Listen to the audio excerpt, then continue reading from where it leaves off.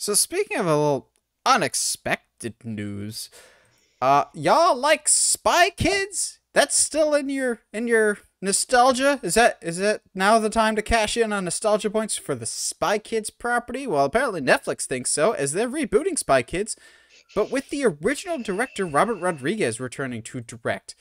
Uh, that's kind of weird to me that you're rebooting a property but keeping the original guy.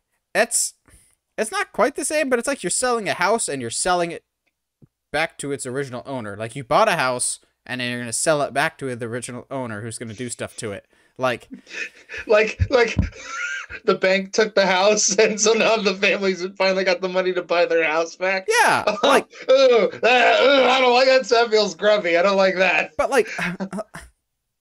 Robert Rodriguez, I think, did the first three, maybe even the fourth one too, that no one ever remembers. Um, There's a fourth. Yeah, with without Alexa Vega and Junie. I don't. No, so it's not. So it's not Spy Kids. So we don't. Ca- no, they're in it. I think as adults, which, I mean, they're old enough now.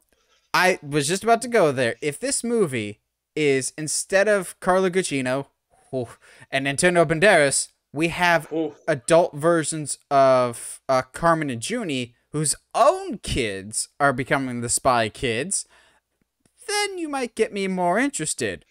Bring back Steve Buscemi, and I'm all on board, man. you get that great dialogue like, you think God sits up in heaven because he's afraid of what he created? I'm going, where are you going with this Spy God, Kids 2?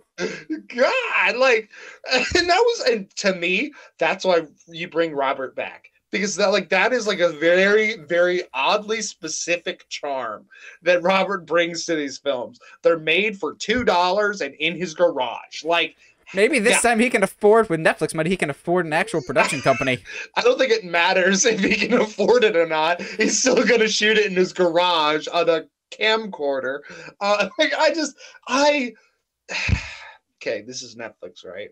So I'll believe it when I see it. I like I just they are this is in comparison to the other products uh like Redwall, Red, like Magic Tree House, um Narnia. Narnia. Like this actually has a director attached to it.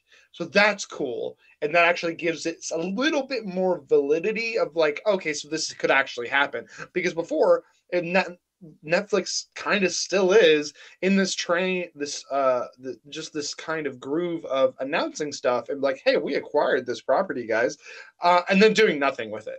So it's like, okay, all right, fine, whatever. But with Spy Kids, yeah, if I if I get to, to have Carmen on my screen again, I, you know, I was, is okay she still that. married to that? What's it from Big Time Rush? She, no, she's not married. There's no way. No, she's it's not Big Time Rush. She's... Nah, nah, nah. She's no, it is Big Time Rush. She's married to that guy from Big Time Rush. Nah, has nah, a couple nah. She's, kids. She's she's single and she's waiting for to meet me. Uh, uh-huh. Obviously. Uh oh, brain blast. Oh, dude, no, just just throw out the entire Spy Kids concept. Throw Carmen out. Throw Junie out. It's a machete spinoff.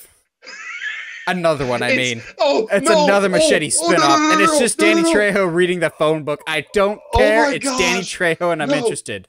I got it. Are you ready? So it is. So we come in with a ten episode season, and the the first episode where we meet Machete and we go about his adventures with Carmen and Junie's parents leading up to and he just kind of like does his own thing for a bit and then the last episode is when they show up at his house uh, in the first movie. Like oh let, us go. Like let, let's see like see what he was doing with with his life before before the first movie. I'd be i'd be okay with that. Although he would actually you know what? No he wouldn't look older older. He looks exactly the same. It's he really does he doesn't, he doesn't age. No he like he was born old looking and just kind of stayed that way like morgan freeman and sam cassell. My only concern is i because it's how Netflix kind of works, they're very much chasing trends, and I worry after his brief directorial stint on The Mandalorian season two and after the Book of Boba Fett, I think they're like, oh, just like Zoolander. Oh, Robert Rodriguez, he's so hot right now. Like we we need to get him back for Spy Kids. Yeah. The rights are available. Let's do it. Oh, he's so hot right now. I I worry that's the mindset of like, oh, Robert Yeah. Rodriguez is mainstream again.